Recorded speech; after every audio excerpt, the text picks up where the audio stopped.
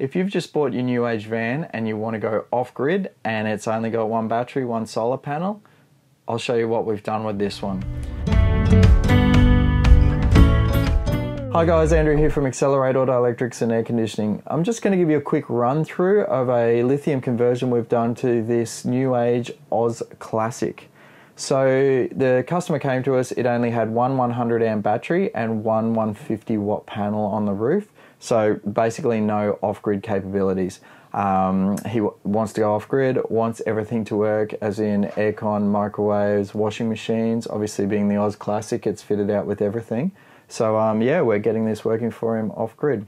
So what we've done, we've removed the 100 from outside, bought the cables inside, and then we've fitted this monster Invicta 300 amp hour battery. So um, Invicta obviously goes with the new age. That's what they're using now in their new vans.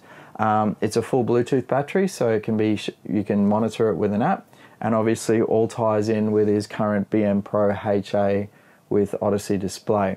So um, when we, we've reprogrammed the HA, which it already had, so that makes it very easy and, and obviously cost-effective conversion. We've added a DC-DC charger. Um, they, most of them don't come standard with a DC-DC charger, so we've added that again to make the alternator charging from the vehicle lithium compatible. And then the other thing to do, so basically that's our 240 charging, which is just reprogramming.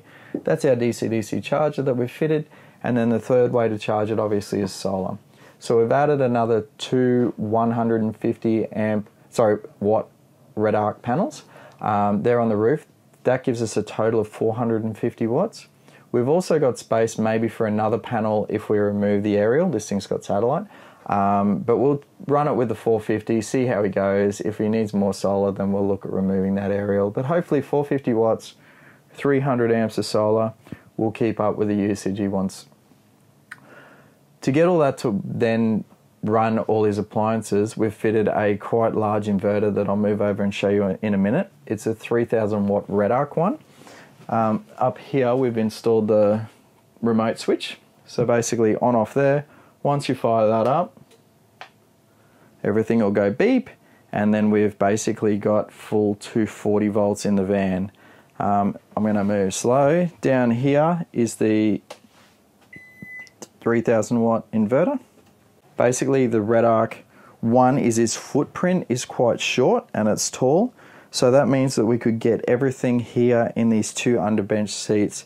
Um, we spoke with the customer, he didn't really utilize these for storage, he, he more uses under bed area and so on. So this became the perfect fit. We, that battery fits in to there and the, chart, the inverter's pretty similar.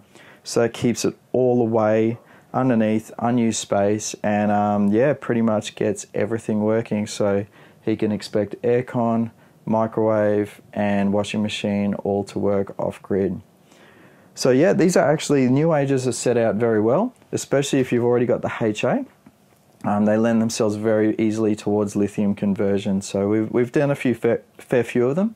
If you've got any questions on this one or any other vans, and you're welcome to send us photos and get, so we can give you ideas where to put things, give us a call on 1300 227 353. Email us at info at amae.net.au or feel free to drop a comment below.